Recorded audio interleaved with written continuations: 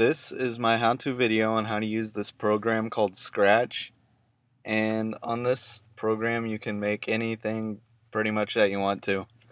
I've been using it to make a couple games which I will proceed to show you and then I will show you a little bit on how to make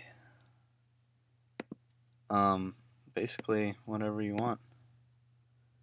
Um, it's pretty simple once you get to know how to use it. Uh, I don't know.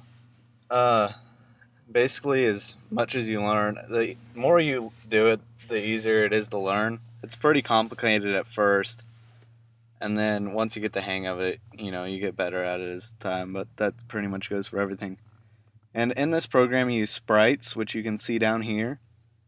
I've got one sprite as a cat, one sprite is an airplane, and one sprite is this start button up here, which you actually use to start the game. And if I click that, it'll actually start this little video that I've prepared to show you guys.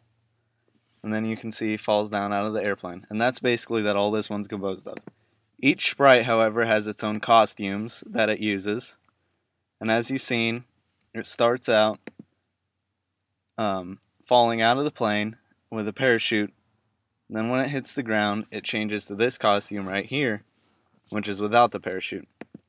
And then you use your scripts to tell your sprites what to do exactly. So here, when it receives start, which this start button broadcasts start, so when the cat receives start, it hides and then switches to costume 1 and then it goes to this area and it waits two seconds and switches to costume three, which is the parachute. It then shows itself and glides down to here, which is where it's sitting now, and switches to costume one. So when you hit start again, it automatically takes it and resets it back at the first place and switches it back to the parachute. The airplane that goes across the screen is more simple. When it receives starts, it shows and goes over here, where it starts out and then it waits one second and glides. The and then it hides when it reaches that area so it can start over back here.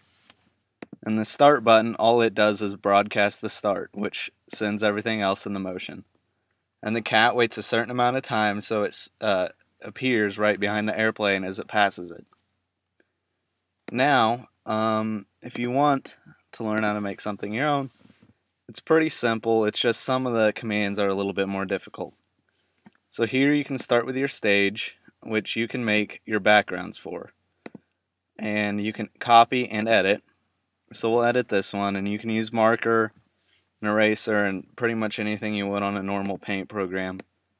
And you can draw whatever you want, so we'll just make a circle or something, I guess.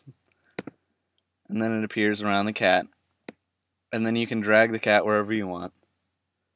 You can also add scripts to the backgrounds, which I have not messed with currently.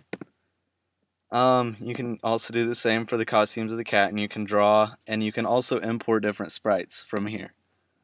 And it gives you a couple options, and there's some that are in here. Or you can draw your own, which is what you use right here.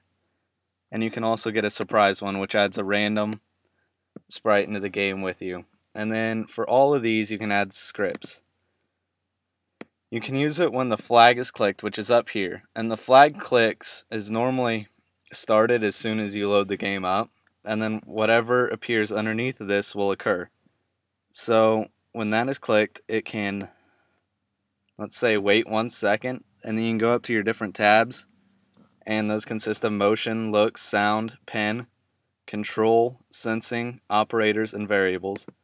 Variables you will use for stuff like gravity and other variables that you'll find throughout the program.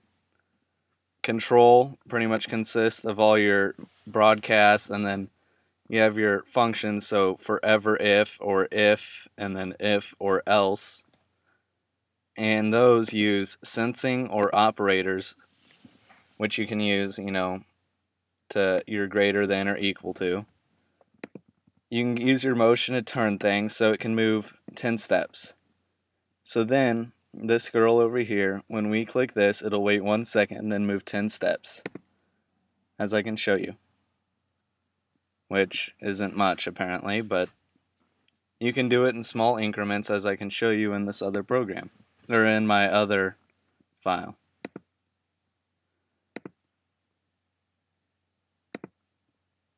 And here's the first one I proceeded to make, which is a little bit more complicated than the others, and the one I spent the most time on. In the script of my sprite one, which is my cat, you can see here that it has to move. It waits 0.1 second and moves 10 steps and switches costumes. Which, if I show you its costumes, it has a running and a standing still. Like so. Here, I will show you. If I move right, it runs, you know, and stops. And then does a flip at the end. You can add anything else you want into here too. And that's pretty much it. It gets complicated as more complicated as far as you go and you can pretty much dig as deep into this program as you want. And to get more tutorials and help on this, you can go to the Scratch website, which will show you tutorials that people have made and it should help you get started in this project. And that is all.